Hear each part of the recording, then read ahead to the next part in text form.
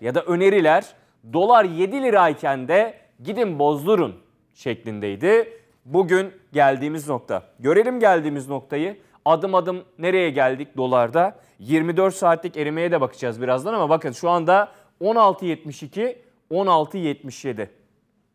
Sayalım mı? 10, 11, 12, 13, 14, 15 derken getirelim dolar grafiğini. Geldiğimiz durum 16. Peki şimdi ne olacak? 17'ye doğru mu? Anlaşılan 17'ye doğru.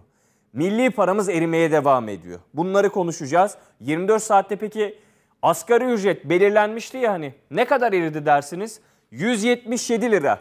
Ama hata yapıyoruz inanın. Hata yaptığımızı da bir hesap hatası yaptığımızda itiraf ederek devam etmek isterim. Neden? Çünkü saat 13.06. Şimdi ben bu hesabı 12.45'te yaptım. Aradan geçti 20-25 dakika. Türk lirası erimeye devam etti. Yani bunun üzerine daha fazlasının eklendiğini söyleyelim. 24 saatte asgari ücret en az 177 lira, en az 11 dolar eridi. Olan bitenin resmi budur. Gelin uzmanlarla konuşmaya başlayalım. E, ekonomist doçent doktor Oğuz Demir, Cumhuriyet Halk Partisi Parti Meclis Üyesi ekonomist Müslüm Sarı da birazdan bizlerle birlikte olacak. Oğuz Hocam hoş geldiniz. Hoş bulduk Can Bey. 24 saatte eriyen asgari ücretle başlayalım isterseniz. Ee, bu aynı zamanda doları ve Türk lirasındaki e, hızlı dibe düşüşü de anlatmanızı sağlayacaktır diye düşünüyorum. Ee, Sayın Sarı da bu arada bizlerle birlikte. Sayın Sarı hoş geldiniz. Hoş bulduk. İyi yayınlar hocam. İyi günler dilerim. Sağ olun. Size de iyi günler dilerim. Oğuz hocam madem e, başladık 24 saatte erime. Bekliyor muyduk? Bekliyorduk herhalde. 177 lira. En az 177. Kendi hatamının da şerh düştüm. 12.45'te hazırlamıştım o grafiği. 25 daha, dakikada daha dünyalar çok, gitti. Daha çok yaparız o hesapları Can Bey. Az önce bir tweet atıyordum. Tam yayına girmeden 2 dakika önce Türk lirasının değer kaybı bir günde %6'yı buldu dedim. Şu an %7,11. Yani 3 dakika yani 3 dakika. Yani 3 dakika. 10 sabah 18'i gördü euro diye konuşuyorduk. Şu an 19.01. Yani ne konuşacağız ki? Ne anlatayım? Ne anlatalım? Ne söyleyelim Can Bey? Bilmiyorum ki gerçekten. Yani hani insan biz her hafta cumaya denk geliyoruz böyle evet. sizinle.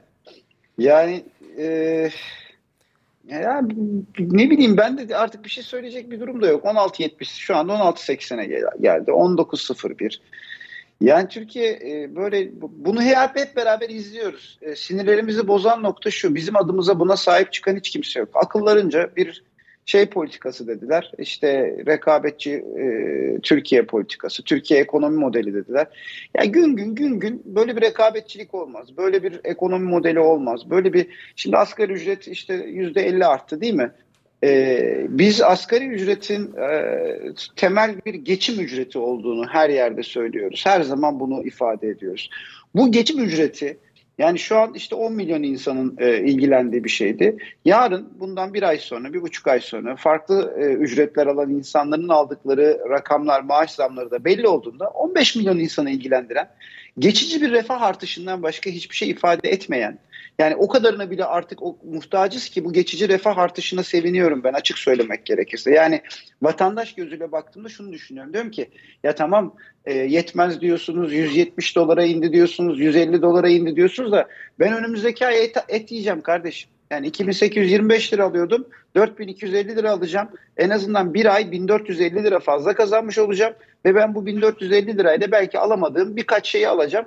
Dolayısıyla tamam yani hiç itirazım yok ve bence kesinlikle doğru bir bakış açısıdır bir tarafıyla. Ama öte tarafıyla da şu var. Bir ay alacak o eti. Yani ikinci ay gene gitti. Bakın 16.88 yani 16.90'a geldik.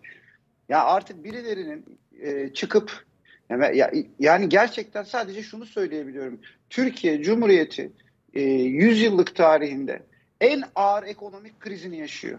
Bakın bu kadar net ve bu krizi 3 e, günde bir ayda yaşamıyor bu krizi neredeyse bir yıldır yaşıyor. Hadi pandeminin etkileri tamam onları bir kenara koyduk. Onun affı var, onun mazereti var. Ama hadi onları da geç. Şu son 3 aydır olanı nasıl izah edebilirsiniz? Adına model diyerek e, saklayamazsınız başarısızlığı. Bu bir başarısızlık. Türk lirası 16 lira 90 kuruşa gelmiş. 16 lira 80. 1, 1 dolar. Bakın Yani şu an doları olan insanlar kazandığını falan sanıyorlar ya hani Can Bey. Şimdi bir e, tüccar düşünün. Bir malı 10 liraya alır. 15 liraya satmak üzere. Değil mi? O 15 liraya satışı yaptığında 5 lirayı kazanır. O zaman kazanmış olur. O 10 liralık mal orada durursa satılmazsa kazanç olur mu? Olmaz 10 liralık bir ham madde elinde kalmış. Şimdi insanların ellerinde dolarları var örnek veriyorum. Kazanıyor mu insanlar? Çünkü satamıyorlar ki bunu. Satamadıkları için kur bu şekilde yukarı doğru çıkıyor. Çünkü insanlar kendilerini koruyor. Ne vatandaşa kazandırıyor, ne e, üreticiye kazandırıyor, ne ihracatçıya kazandırıyor, ne e, bankacıya kazandırıyor. Yani hiç kimseye kazandırmıyor şu anda bu sistem. Bakın hani birileri doları var. Bak doları olanlar zengin oluyor falan diyoruz ya mesela bir tarafıyla. Evet. Onlar da kazanmıyor. Satamadığın zaman zengin olamazsın ki. Satacaksın ki zengin olacaksın. Onda o da yok.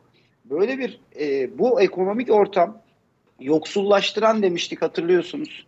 Artık yoksullaştırma falan değil bunun adı.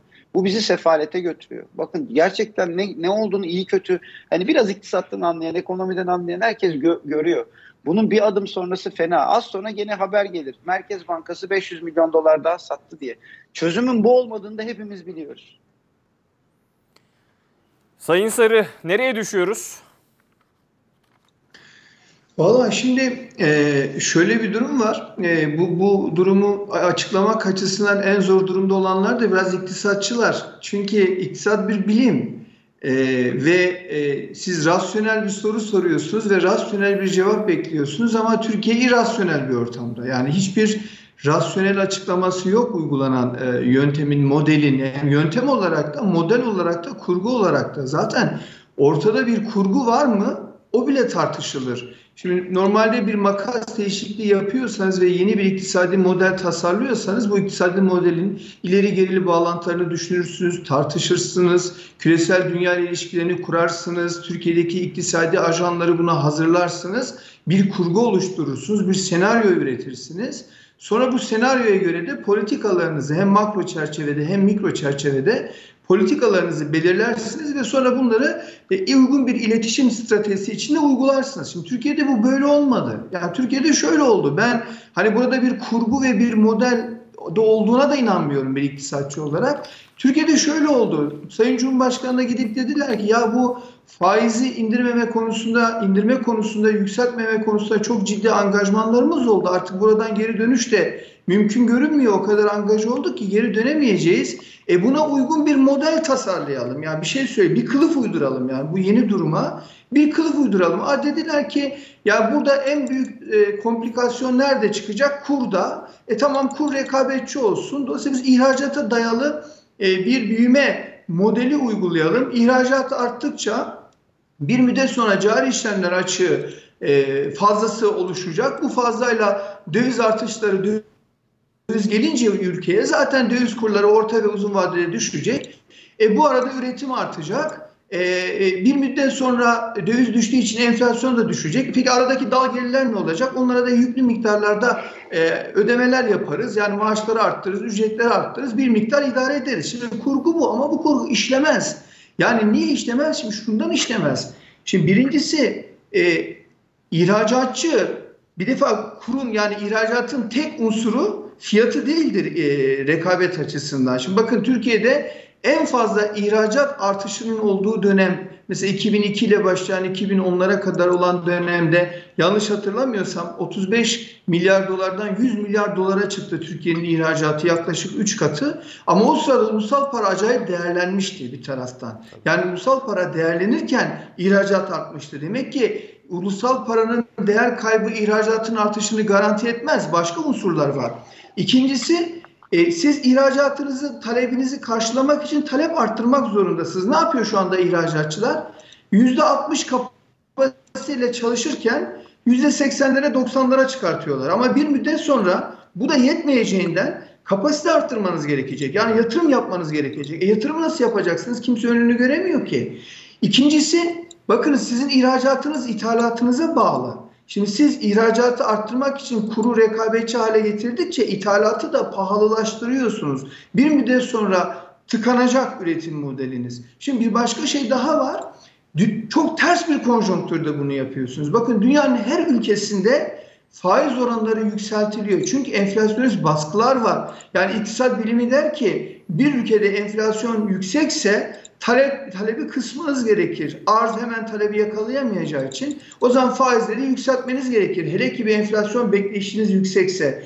Dünyanın her ülkesi şu anda bunu yapıyor ama biz ters bir işlem yapıyoruz. Enflasyon artış eğilimindeyken ve enflasyon beklentisi yüksekken biz faiz